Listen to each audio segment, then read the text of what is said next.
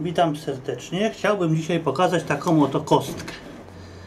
Ta kostka ma tutaj włącznik, tu gniazdo USB i tutaj dziurę, która jest otworem na bas, bas reflex.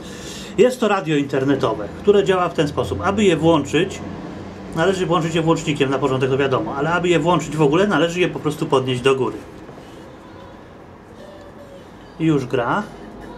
Żeby zmienić program, trzeba je obrócić. Następny program. On. Muszę szybko, żeby YouTube się nie czepił o muzykę oczywiście. I kolejny program. Aby zrobić ciszej, wystarczy je przechylić w tą stronę. Kolejny program. Aby zrobić głośniej, trzeba podnieść do góry. Aby wyłączyć- Wystarczy zrobić tak. Radio jest firmy Q2. Łączy się oczywiście po Wi-Fi.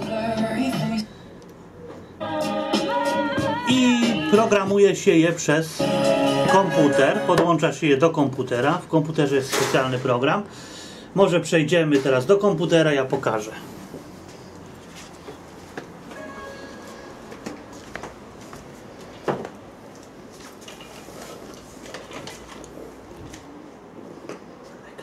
Pokazuj, dobra?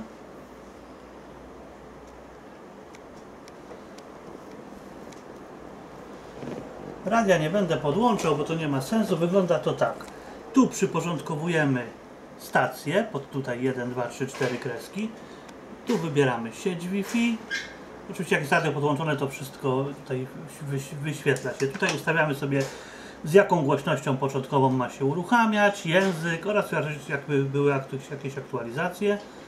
Stacje radiowe wybieramy z, tutaj z dostępnych, wybieramy język, yy, gatunek i tak dalej, co tam sobie chcemy. Przyporządkowujemy cztery i jak już pokazywałem, jedną czterech wybieramy, słuchamy jakościowo. Radio gra bardzo fajnie.